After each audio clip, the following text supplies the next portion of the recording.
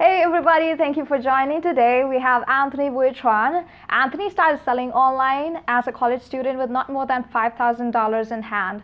But today he's built a million dollar e commerce business that has earned him a reputation of a passionate entrepreneur. Anthony has built his e commerce business from ground up by manufacturing and importing consumer goods. Along with his business partners, he's crafted a very good educational Amazon FBA course and his YouTube page and also uh, his Facebook group, uh, Tradecraft, has um, uh, has nurtured a very strong community of Amazon uh, sellers. Thank you, Anthony, for joining us today. It's a pleasure to have you here. Hey, thank you for having me uh, here. So, yeah, just quick intro about myself, just to add on to that. Um, I've been selling on Amazon for three years now. I recently quit my job about maybe almost two years ago, a year and a half ago, I I saw my boss for the first time, maybe like two months ago, and she was a little bit jealous. So that was a really funny feeling uh, to have. Um, how the table have turned turned a little bit, um, but yeah, uh, selling on Amazon has been really good to me. I mainly do private label now, but I started out with doing uh, retail arbitrage, online arbitrage, and wholesale. Uh, there's definitely pros and cons to every single business model, but I found private label to just be my sweet spot. Yeah. Awesome, awesome. It's it, like I said, it's great to have you here, Anthony. And uh, so you were fresh out of college into a new nine to five job when you started, right? At the same time, you started selling on Amazon part time with a real probability of it not working out. Now that you're successful, how important do you think it was to get your feet wet and make calculated risks? Yeah, I mean, that's a great question. So, you know, when I started out, I only saw it as a side thing, to be honest. I didn't think I was going to be doing this full time. I knew it kind of existed, though. Okay. Same thing with uh, like the eBay sellers. I knew like it, there's people out there doing it full time. So for me, what happened was I I started with retail arbitrage, which is when you go like in stores and you like buy stuff and then you like sell it on Amazon, right? So private label is like manufacturing your own brands, putting your own branding on it, and then selling your own stuff. So while I was flipping other people's stuff, I I realized there was some good money in it. The first um, time I ever did it, I was a college student. It was my final year of final semester of college, and I think I made about like eight thousand dollars in profit. And for me, like to do that within like two months was like amazing. I was like, oh, okay, this is cool. Like uh, I've never had not made that much money in you know like that short of a time span um you know up into that point. And then i decided um and then after well right before uh, was it after? Like right when i started my corporate job i was like okay you know like i realized right before i started my corporate job i went on a road trip to california like the west coast for like three months. And i realized that you know maybe there's more to life than just working. What if I could do this travel thing like all the time, right? And so I decided to go to a Amazon conference. So when I went to an Amazon conference, I realized that there was a lot of people that were way older than me, actually, like in their 30s, 40s, 50s, and possibly even their 60s, that were doing this for, uh, you know, a full time, uh, like they have been doing it full time, and like they've been doing it for like a couple years already, right? And I was like, if these guys can do it, right? Uh, not to like be mean about like older people, right? But like if these guys can do it, then I can definitely do it because I understand, you know, like the technology, the I don't know, just like understanding stats and like just doing all these things. Maybe I don't have business experience in general, but I understand the internet, right? And that's how like I decided to really get into the space, basically. Um, but you know, that was the introduction of me getting my feet wet, right? To tie it back into everything. Um, I got my feet wet by like just testing it out doing retail arbitrage, and then I got my feet wet even more because I surrounded myself with you know the actual community and like really started like uh, consuming stuff around like Amazon, right? So if you guys are watching this, right, this is like one of the first steps into just like understanding like hey is this amazon thing for me? Like is this like and then this is you educating yourself which is super super important um, in the beginning when you're trying to get your feet wet. Um, because with all these like little wins right um, you feel more confident in yourself. And once you build that confidence then you can really go out there and chase it um, possibly full time you know? So yeah so that's how i feel about uh, getting your feet wet. I think it's super important. Um, there's different levels to it. I've seen people jump straight in. Um, for me, I just got my feet wet, um, but I did I do wish in the beginning that I found the right people and the right mentors faster. So looking back on my journey now. That's that's amazing, and I guess you uh, uh, gave a segue to our next question, which would be most of the people start out selling on Amazon only as a part timers, uh, as you did, right? So, do you have any tips or strategies to grow sales and revenue substantially as a part time seller? Okay. Um, yeah, so this is gonna be more about, I guess, the private label side. So, um, as a part-time seller, though, I guess with the business models like Amazon, you got to realize that, um, like for me when I was in college, time was not uh, time was like a resource I had a lot of. But once I started working uh, a corporate job, I realized time is not a resource I have a lot of anymore. You know, like I only had maybe like four or five hours of free time after work and it was it's up to you to really decide what you want to do with that block of time right? You sit there watch tv or you can sit there and you know watch videos on youtube to educate yourself about you know making money online. Uh, and that's what i kind of chose to do. So basically with ra um, um, you know to free up your time with that you're gonna have to learn how to like just scan efficiently right? Or have people prep help prep you, right? So what this all ties down to is outsourcing, right? So in the beginning, it might not make it, it might feel weird to like want to hire someone, especially if you've never done it before. Especially never, uh, yeah, if you've never done it before. Like if it, you're doing RA, then you're gonna have to hire someone to help you pack the boxes and ship it out to Amazon, because anyone can do that, right? Your job should be out there focusing headhunting for like the uh, the gold, right? Sourcing for the profitable products. While with private label, right, um, the nice thing about that is it's time spent up front, and once you get the product rolling, then you have to reorder, reorder, reorder. But when it comes to private label, there's a lot of little steps that can really take up a lot of time, like contacting manufacturers, right? Um, coming up with like the listing copy, the photography, um, customer service so depending on where you are in your journey right maybe you can you want to do all of those things yourself in the beginning but you always want to remember that uh, if you're doing it part-time you need to work use your time efficiently. So ideally um, what i tell people is you want to be working in this upper half box right um, there's four squares. So in the top, you know, I guess top left, it's gonna you're gonna be working. You want to be in this square, right? This you working on the stuff that you love to do, and it's stuff that you um, are good at. Okay, and then next to it is gonna be the stuff that you're um, that you love to do but are just okay at. Okay, so ideally, you want to do be doing the stuff that you want to do. That's fun for you, okay? And and then in the bottom half, it's like working on the stuff that um, you're good at, but you don't really enjoy. Okay, so for me, that was kind of like doing like uh, at uh, any customer service, um, spreadsheet type work, any analytics. I didn't really like doing that. And then the things you definitely should not be doing is the things that you are not good at and don't like. So for me, that was coming out with like the copy for like the the listing. Um, most creative stuff, uh, kind of like just I can do it, but it just stresses me out. It doesn't come to me as easily as you know like other people.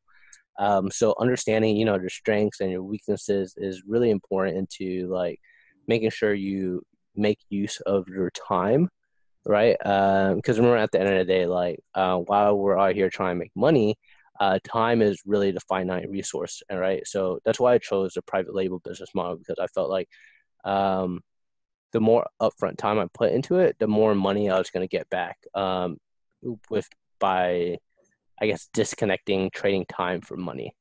So that makes sense. Yeah, yeah, definitely.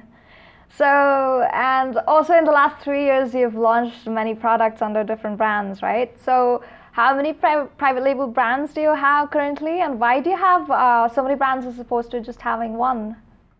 Okay. Yeah. Um, so in terms of brands, I don't know how many unique brands I have, but in terms of unique SKUs, I'm at about 55 now, I believe. I'm not mm-hmm. really sure. Um, but essentially, there's a couple of different ways to go about your private label business, right? And I've seen both methods, in my opinion, work successfully.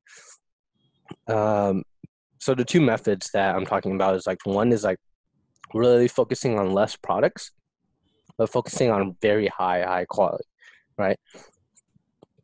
The other method, right, the second method is just like launching a lot of products, right, and trying to just kind of diversify your risk between this entire portfolio that might make uh, where each individual product might not make as much as the original um, the branded products right?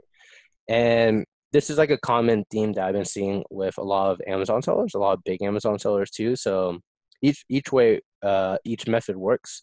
So if you're focusing on like the branded component where you know you have like less private label products one like the quality and like uh, the whole experience for the customer is generally going to be nicer because you spent so much time on it.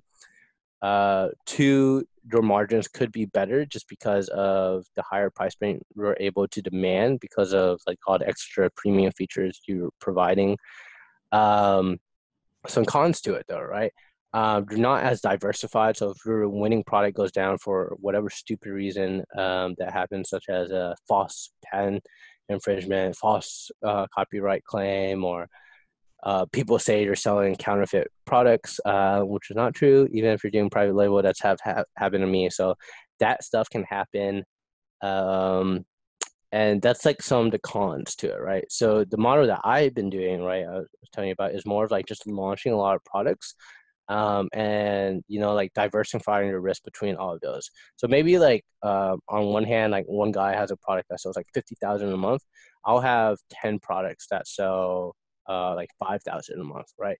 So like these like lower private label products like just kind of like float underneath the radar and people don't um i guess give you as much trouble um for these products right? Like the the competition for those products aren't as high or maybe you're just you're selling the same product but you're you just realize at the end of the day you're happy with only gaining a little bit of that market share right uh, compared to that main product.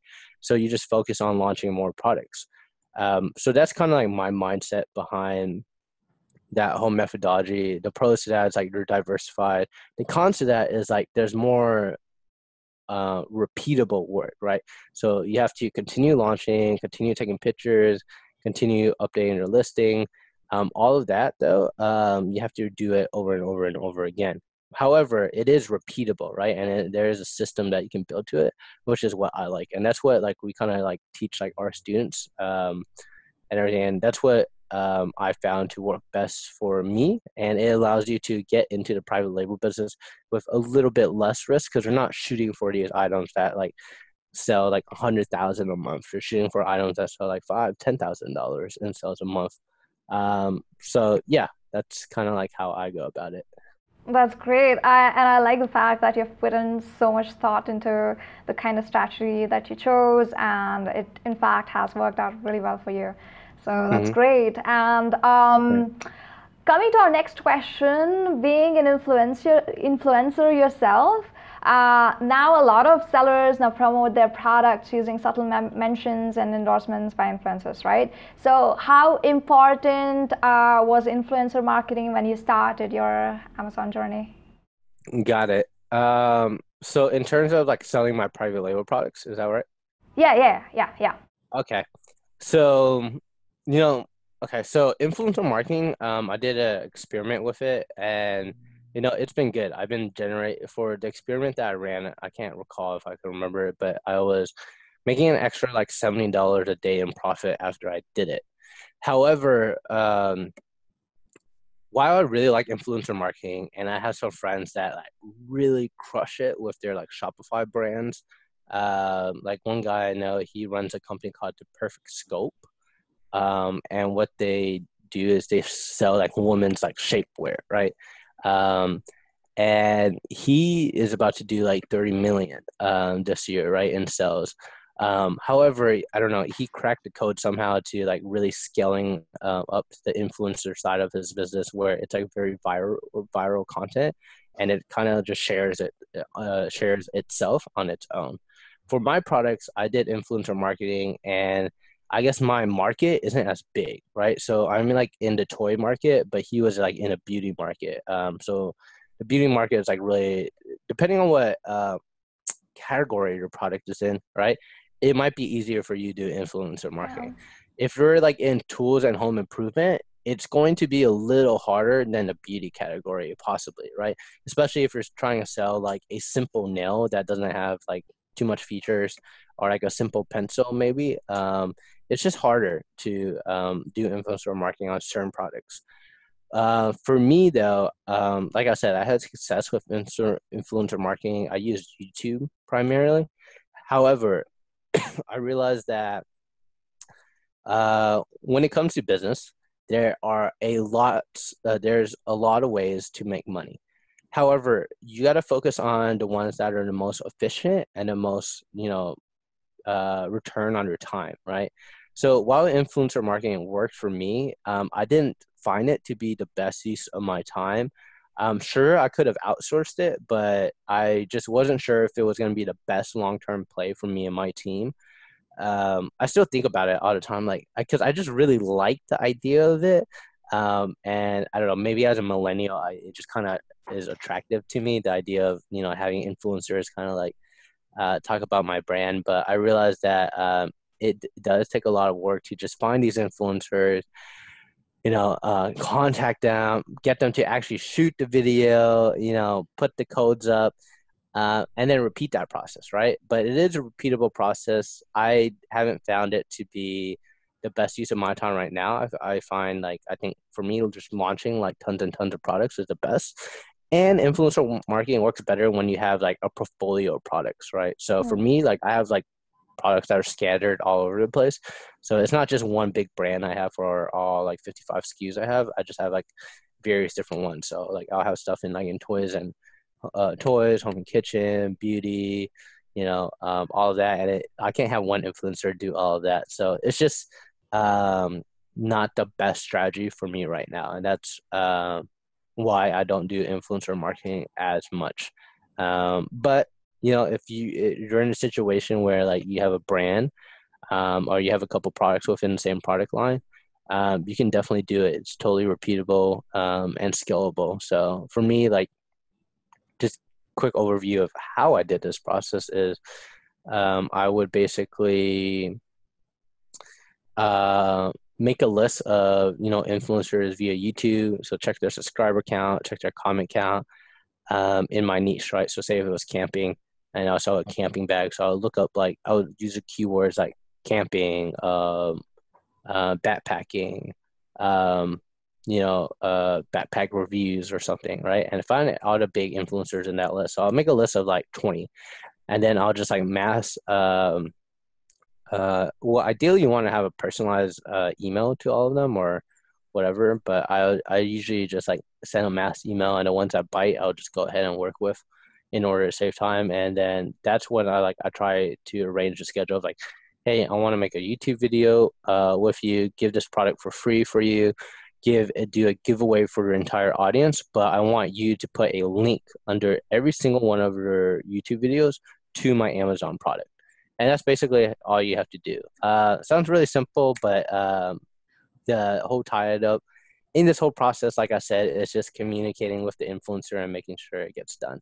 Yeah, absolutely. Yeah, like like you said, it sounds simple. That's it, but it's quite tiring, and also can turn out to be a little expensive. Um, so, are there any ma- other marketing strategies that you frequently use? Um, you know, like something I've been toying with a lot more is uh, Facebook um, ads, uh, especially ManyChat. So we found that new by running like a ManyChat ad, we're able to you know collect basically like email subscribers. Um, so ManyChat, if you guys don't know, is like a Facebook Messenger um, bot. Um, so if you're on Facebook Messenger, you can have a page like contact you and send you like emails, and that's kind of what we've been doing. And so when we run a launch, we'll just run a you know like 50%, 25% launch on using Facebook ads, but it connects to basically your Amazon um, sales page. Um, it connects to your Amazon sales page um, and it connects to your Facebook Messenger bot. So you kind of build up um, both of those audiences, and it can be sometimes cheaper to run than using a service like Power Launch, uh, ZonJump, and whatnot. And at the end of the day, you actually collect your customers' data because because um, with the Facebook Messenger bot, you can like send them like special offers to like things in the future too. Like, so yeah. Interesting, interesting. And uh, that brings up the recent fiasco with uh, Amazon taking down a lot of reviews, right? So, did you face any negative consequence of using bots for reviews, collecting reviews? Yeah, so that's a good question. So, I personally have never gone in trouble with any review stuff. Um, so, I consider myself lucky. Uh, hopefully, it stays that way. Um, I do have a couple colleagues that have seen like their reviews get hit and whatnot. Um, I I haven't seen a huge consistent uh, like a huge um, uh, similarity between like the people who gotten their reviews uh, banned versus like people who haven't. So I'm not really sure mm-hmm. what the mm. correlation it is uh, for Amazon between um, all of that. So yeah. Right, right, got it. Okay, uh, that's that's good to know that you didn't get affected, which is good. So, uh, speaking of social media channels, customer engagement is becoming increasingly essential to drive good exposure to a brand, right? Um, again, sorry to coming back uh, to brand. Uh, anyway, just talking about customer experience. Campaigns on social media platforms is one of the ways to reach a diverse audience. In your experience, what are the ways that you can use social media marketing to run promotions effectively? Um, I mean, kind of like what I just said. Uh, yeah. Basically, with the the messenger uh, stuff. Uh, yeah. Apart from that, uh, do you think there are any other ways to maybe promote your products using social media? Um, I mean, you can do influencer marketing. Um, those are like the main two. Um, I just personally don't really focus on it because of like the 80-20 rule. I rather just focus on making sure everything works on Amazon because Amazon already provides you traffic. Um, so I just focus on winning on Amazon, and then um, if need be, maybe I focus on doing some Facebook ads. Um, but other than that, you know, like I know I can just win on Amazon, so I really don't really bother too much to learn uh, some of these other factors. Got it. So your main focus is on PPC campaigns in that case, isn't it? Uh, yeah. So PPC launching correctly, making sure your listings optimized for all your keywords that you really, really need. Yeah. Got it, got it. And what what is the best way to launch a product according to you, since you've launched so many products?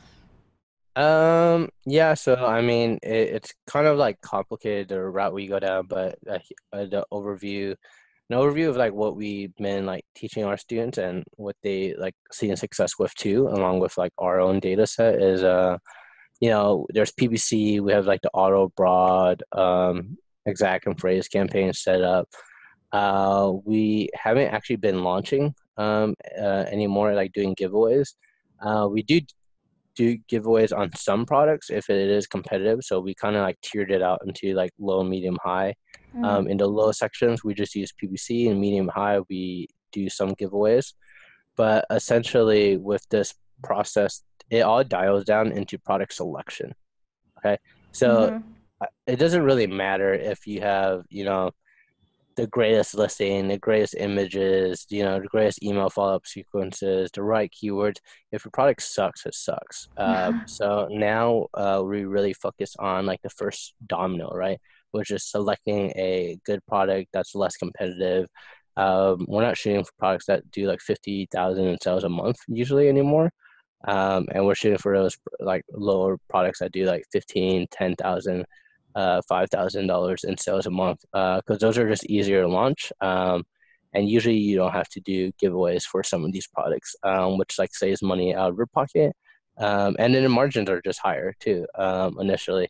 But um, that's why it's important to keep launching though, because eventually you're going to face margin compression um, which is you know just all the other sellers coming into your market. Uh, and yeah, basically that's that. Great, great, awesome. So, lastly, your Seller Tradecraft group on Facebook is doing pretty well, and there's a lot of engagement from different levels of sellers, right? What does mm-hmm. the roadmap uh, for your group look like? Yeah, uh, yeah, interesting question. So for us, it's still about so Seller Tradecraft. If you guys don't know, is like the Facebook group. Now I started a maybe a year ago or two, uh, just because I wanted to attract more like-minded people like myself, and I wanted to build a community for that. Um, so now it's grown to over thirty thousand people, and um, what I'm trying to do with it now is to just really continue sharing and fostering that community of where people kind of just like document and share different tips about their journey, uh, like such as what softwares they use, such as like Seller Prime or um, you know, what services they use. And it's just like a really good feeding ground for like, hey, like I need a recommendation for a freight forwarder. I need a recommendation for a graphic designer. And people will come in um, and comment um, and share their resources like where possible. Um, for me down the line, in addition to like the education course that we have uh, right now, um, we're like looking to just really expand um, I guess our reach, right? Um, so we're really focusing more on like making more YouTube stuff to build out the content um, down that line because we actually f- I found that most people um, have found us through uh, the education on YouTube, um, and kind of like our, uh, we were saying right before we hit the recording button on this is that um, Amazon recently like invited us out to uh, Amazon's headquarters to be part of basically their board of advisors, which is going to be like less than a dozen people, um, to be basically on a board of advisors for Amazon sellers. So Amazon's going to be providing us a lot of like knowledge, and like they want us to help educate Amazon sellers about like best practices, and really allow sellers to like myself to provide feedback to Amazon in terms of like, hey, these are things that Amazon sellers are ha- hating about you guys, and this is why like your reputation is bad. Um so you know one um us just like building like for me just documenting my like journey and my brand um has led to just a lot of doors opening. Um and i continue to you know just share like free stuff on youtube and within my facebook group because i found that by being involved within the community kind of like answers just flow to me. Like if I say something wrong, someone will correct me, right? Which is great. Um, I don't mind being wrong, and I love when people correct me because then it just I don't go down the wrong path on accident. Um, and you know, like I said, I've been meeting people all over the world. Like I met you in Vietnam, right? Um, because of you know just me talking about my journey, and sharing my journey um, to the planet, right? And I really encourage like other people to do it too because as you start doing it more you start to realize that like hey like maybe uh, you can get some softwares for free right? That's been really cool too like you know just having uh, people reach out to me and be like hey like do you want to try our product out? You know if you like it just talk about it blah blah and then same thing with like the freight forwarders. I've had freight forwarders give me like discounts uh, just because uh, i've been able to they just know who i am and they're like oh hey work with me. Give me a shout out whenever you get the chance. And uh, just little things like that really add up over time. But yeah, my main thing is like I think the people that I'm meeting at a higher level within this Amazon business will go on to do cool stuff in the future. And if this is the way we first get connected, you know, uh, through entrepreneurship, then I'm all for it. And I hope that continues to grow like that. Awesome, awesome. And I hope too uh, for a great future for all of the Amazon sellers as well. Uh, so again, thank you so much, Anthony, for joining us today. And all of you guys are watching the video, please do uh, like, comment, and share this video. Like our page on Facebook and Instagram. Also subscribe to our YouTube channel for more great content. Thank you and goodbye.